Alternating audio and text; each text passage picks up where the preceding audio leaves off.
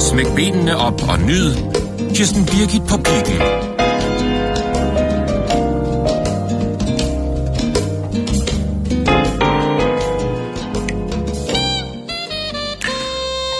De levende døde. Vi lever i politisk korrekte tider, det kommer vel dårligt bag på nogen. Andre end de politisk korrekte selv naturligvis.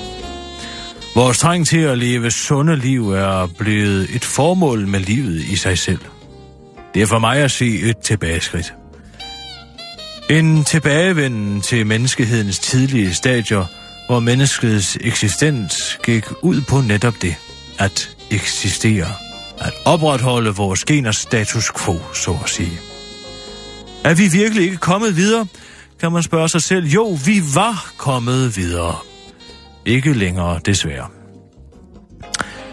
Jeg husker tydeligt, da jeg var en lille pige og boede sammen med min far, hestehandler Jens Birgit, på gården på bakken, som den blev kaldt. Min mor døde i barselssengen. Jeg var en stor pige, da jeg blev født 11. Et halvt pund vejede jeg, og det blev for meget for min mor, da det også var en sædefødsel. Min far reddede mig ved, efter at min særlige mor var afgået ved døden, at trække mig ud af hendes lig tilbage til livet. Han løb over i stallen og hentede det spil, man bruger til at hjælpe en hoppe under en særlig anstrengende foling, fastgjorde det til en knærække i den ene ende og til mit ben i den anden, og brugte så spillet til langsomt, men sikkert at trække mig ud. Nå, det var en degression. Jeg fortæller kun dette for at beskrive, hvilken slags mand Jens Birgit var. En handlekraftig mand, der tog livtag på livet og kærede det, men ikke på bekostning af livsglæden.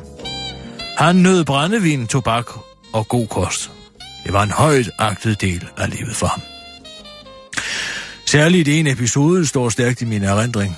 Det er en episode, jeg ofte og ofte tænker på, når jeg ser de levende, døde, men sunde, står lykraklædt klokken 06 stut på en søndag, gnævende på en hjemmelavet musikbar, mens de arbejder på at gøre deres glædesløse liv så langt som muligt.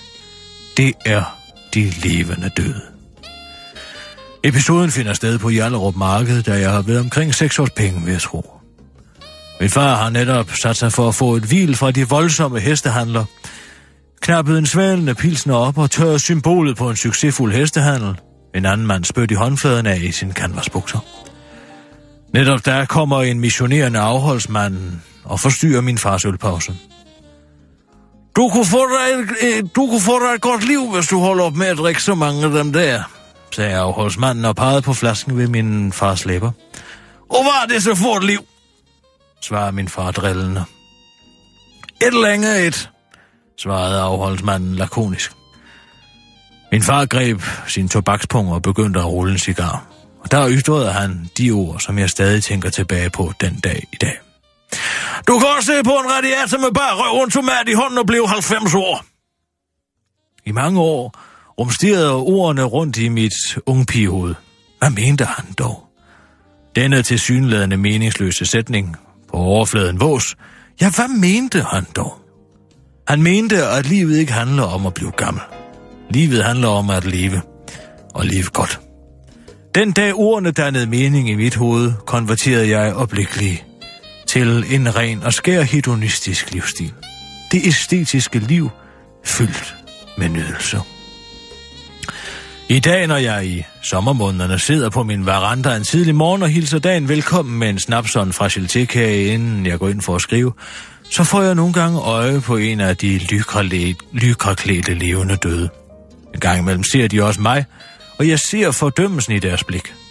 Og så kigger jeg tilbage og siger til mig selv, eksisterer du blot? Jeg vil leve. Og så skænker jeg mig selv en snaps til. Ikke fordi jeg har brug for den, men fordi jeg har lyst til den. Skål på livet.